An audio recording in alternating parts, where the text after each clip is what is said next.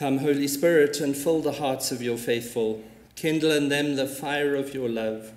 Send forth your Spirit, and they shall be created, and you shall create the face of the earth. May I speak in the name of God, Father, Son, and Holy Spirit. Amen. Good morning, and welcome again to this online service, the third in our series of stewardship, being on treasure the last two weeks on time and talents. The real measure of our wealth is how much we would be worth if we lost all our money.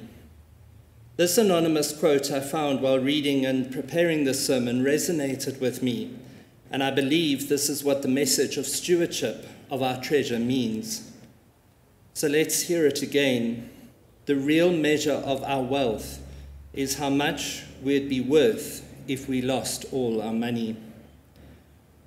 Today we meet Jesus in the Gospel passage from Matthew towards the middle of a series of sermons making up the Sermon on the Mount. These begin with the Beatitudes and go through principles of interpreting and living the laws of the Old Testament. These sermons give us ways to act and respond to the love of God and to follow Jesus. It sounds and looks easy to follow Jesus on the surface. Blessed are they, give up everything and follow me. Come to me and I will give you rest. Sure, these may be able to give our lives and treasures to Jesus and give us and live a good Christian life. But this is not easy, as we know that when we come to the part when we have to let go, it is not easy to do.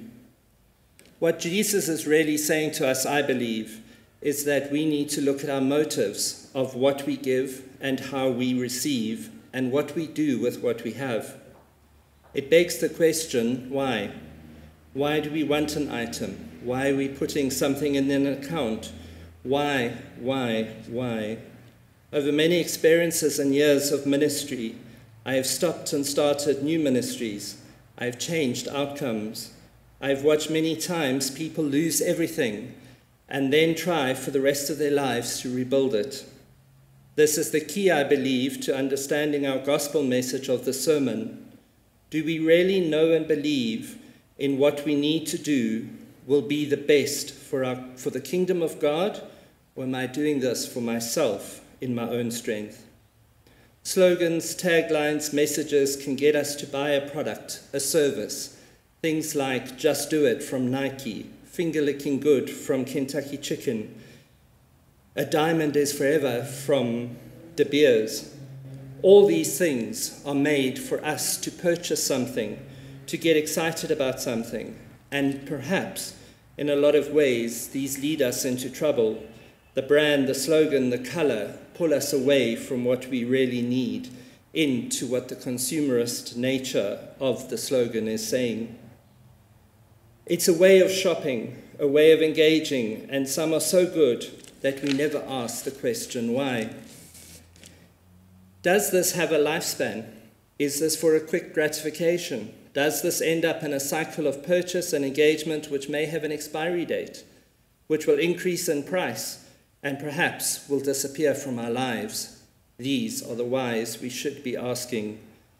What we need to do is always be cognitive of what we need to take stock of, and that is who we are, what are our motives and our purpose. So our choices in turn will lead us to making choices aligned to what we believe. During the last 10 years, I've had many changes in ministry and secular work, as I mentioned.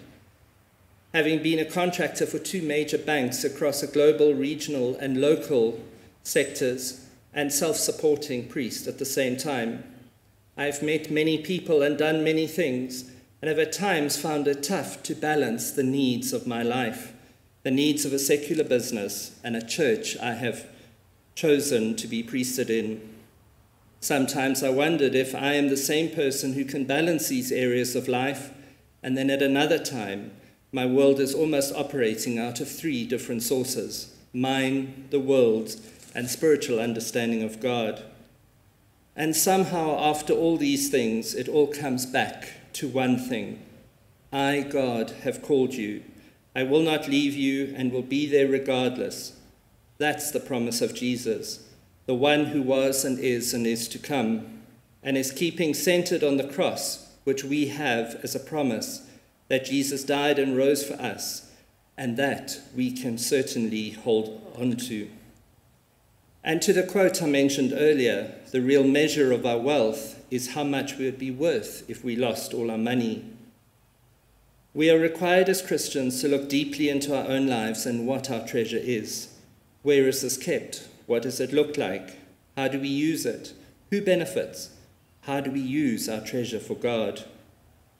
Treasure is not always and only the money, it's how we have used this money, as we have spoken about, to buy treasures on earth, how we have invested and protected the wealth we have, have accumulated. The idea of storing up treasures for yourself implies both a self reliance and a self interest that's at odds with the kingdom of God. So it's a question of where your treasure resides and what it will be used for. Is it in heaven or is it in the material things of this earth? Our gospel again teaches us that Jesus takes this idea of storing up treasure for ourselves and points out that when we treasure something in this way, we actually make it the thing that rules our life. It is for God's purpose. This will be everlasting and will continue. If it's for me, it can become like an addiction. And this could lead to more and more for me and less and less for God, and cause tremendous anxiety and fear.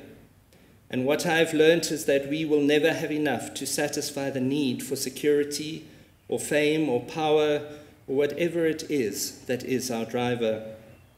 Our anxiety about our human treasures leads us to work and plan to ensure our financial security.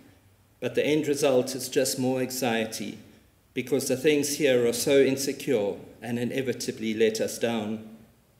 So, as I've mentioned and we are seeing, Jesus' answer is that our focus should change from material things to heavenly things, from wealth and possessions to the kingdom of God.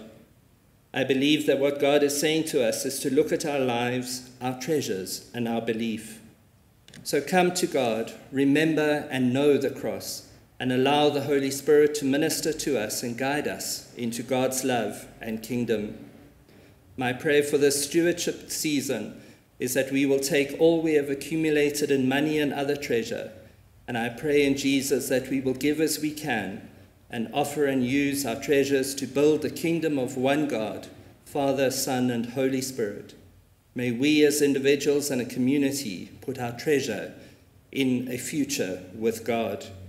And when we do this and have what we have, we will find that we will find more and more of God and less and less of ourselves.